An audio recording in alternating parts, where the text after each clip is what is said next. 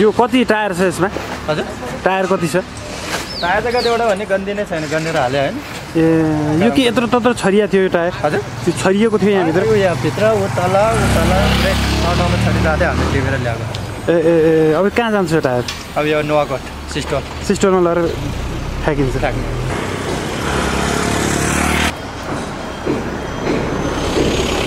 यो देख्न सक्नुहुन्छ यो सिंहदरबार परिसरभित्र रहेको फोहोरको थुप्रो हो। आज पौष अठाइस गते शनिबार यहाँ सरसफाइ कार्यक्रम गरिएको छ र यो फोहोरहरू फ्याँक्न लानको लागि अहिले यहाँ चाहिँ जम्मा गरेर यसरी राखिएको छ।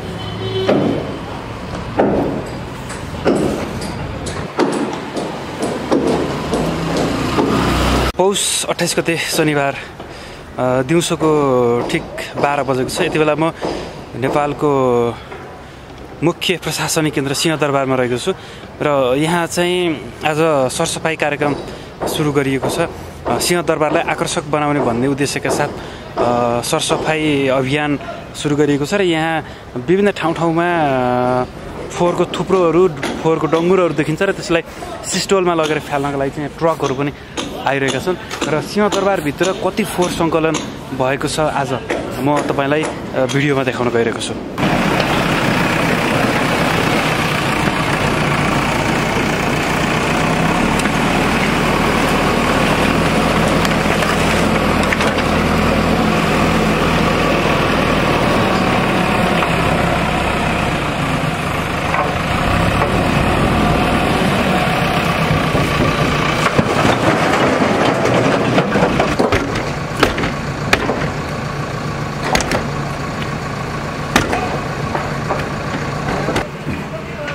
यो चाहिँ टायरको थुप्रो रहेको छ। र यो टायर सँगसँगै यहाँ चाहिँ पुराना गाडीहरू रहेका छन् र यो गाडीहरू मर्मत गर्ने हो भनेदेखि राम्रैसँग सञ्चालन गर्न सकिन्छ जस्तो देखिन्छ। बाहिरबाट हेर्दाखेरि राम्रै कन्डिसनमा देखिन्छन् यी गाडीहरू चाहिँ। त्यो के यसको झ्याल खोल्दै हुनुहुन्छ? खुलेन यो? खुलेन ए, लक बिग्रिएको रहेछ अँ। र नचलाइकन थन्किएका मोटरसाइकल हो नि यो चाहिँ।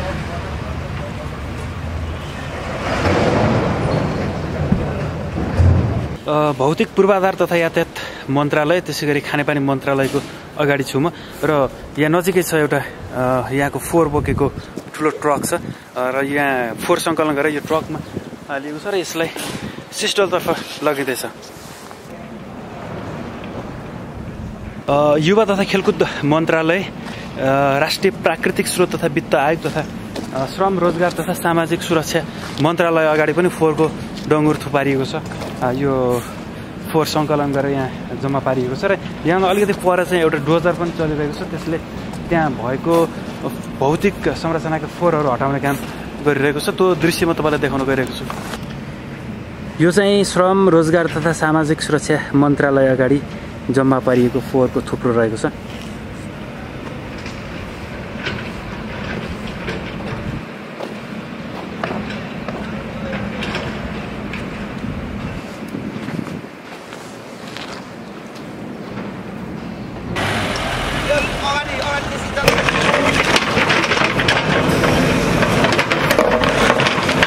अहिले चाहिँ म वन तथा वातावरण मन्त्रालय अगाडितिर आइपुगेको छु र यहाँ चाहिँ यो वन तथा वातावरण मन्त्रालयको ठिक अगाडि रहेको एउटा रुख काटिँदैछ। यसको हाँगाबिगाहरू काट्ने काम भइरहेको छ।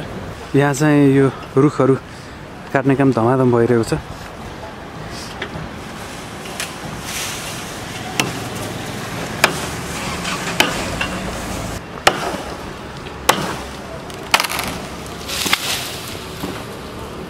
र यता कानुन मन्त्रालयबाट चाहिँ एउटा डोजर आइरहेको छ।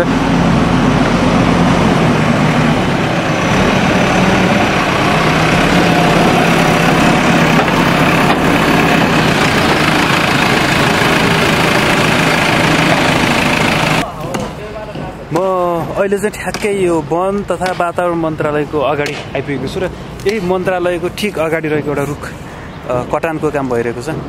फायरिङ हुने। मेरो नाम दानिस शाह हो। हजुर मेरो पद सुपरभाइजर हो। म रत्न पार्क वितरण केन्द्रको। विद्युत प्राधिकरणको काम विद्युत। प्राधिकरण। यो वन तथा वातावरण अगाडिको यो रुख अहिले काट्ने काम भइरहेको रहेछ। यो रुख चाहिँ खास किन काटिएको? यो हाम्रो हाई टेन्सन लाइन छ। हाई टेन्सन लाइनमा तपाईँको यो हाँगाहरूले यस पार्क हुने समस्या हुने विद्युत अवरुद्ध हुने त्यो कारणले हामी यसलाई सफा गरेर क्लियर गर्न लागेको छौँ। ए भनेपछि सबै यो रुखहरू काटिन्छ यो तार यो माथि बिजुली ओ, सबै यो सुनेको सिन्धर्मभित्रको सबै हामी क्लियर गर्न।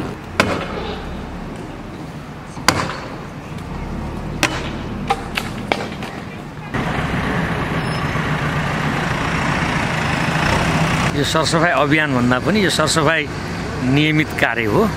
र अहिले चाहिँ अलि धेरै गहन रूपमा हामीले सबै निकायहरू यहाँ सिंहदरबार भएका निजामती कर्मचारीहरू यही फोहोर सङ्कलनसँग सम्बन्धित उहरू नेपाल सेना सेना नेपाल प्रहरी सशस्त्र प्रहरी भएर संयुक्त रूपमा अलि धेरै गहन रूपमा यसलाई गरिएको र विशेष गरेर सम्माननीय प्रधानमन्त्रीले एउटा स्वच्छ सरसफाइ हुनुपर्छ सरकारी कार्यालयहरू एउटा हरियाली वातावरण का हुनुपर्छ हरियाली प्रवर्धन हुनुपर्छ भन्ने जुन सामान्य प्रधानमन्त्रीको अभिव्यक्ति छ र यहाँ पुराना सवारी साधनहरूलाई व्यवस्थापन गर्नलाई जुन सामान्य प्रधानमन्त्रीले निर्देशन दिनुभएको छ त्यसैको सिलसिलामा हामीले अलिकति गहन रूपमा यसलाई चाहिँ नि यहाँको फोहोरहरू हटाउने काम भइरहेछ। यो त निकै फोहोर पो रहेछ बिहान त ठाउँ ठाउँ फोहोरको डङ्गुर देखिएको थियो।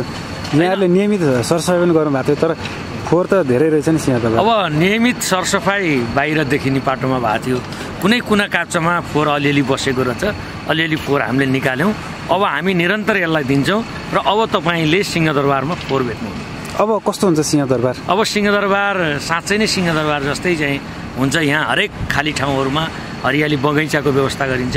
यी तारहरूलाई चाहिँ भूमिगत गरिन्छ र दीर्घकालीन रूपमा सिंहदरबारका सबै भवनका बाहिरी पाटाहरू अँ, को चाहिँ नि एउटै किसिमले यसको डिजाइनिङ गरिन्छ। एक किसिमको हाम्रो पुरातात्विक र ऐतिहासिक कुराहरू झल्कने गरेर आधुनिकतालाई पनि यसले उदिने गरी दुइटैको सम्मिश्रण हुने गरी चाहिँ सिंहदरबार चाहिँ विकास हुन्छ।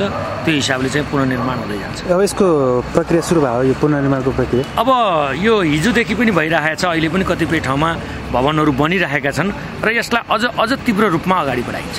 सबै मन्त्रालयहरूले उत्सुकै उत्साहपूर्वक रूपमा आफ्नो मन्त्रालयमा भएका कुना काप्चामा भएका फोहोरहरू सामान्य मर्मतका कामहरू सरसफाइका कामहरू रङरोगनका कामहरू र लाइटिङ गर्ने कामहरूलाई उच्च प्राथमिकता दिएर सबै मन्त्रालयहरूले एकैसाथ यो कामलाई अगाडि बढाउनु भएको छ। जस्तो सिंहदरबारभित्र धेरै पुराना गाडीहरू पनि छन् जस्तो खाली ठाउँहरू त पुराना गाडीहरूले नै भरिएको देखिन्छ।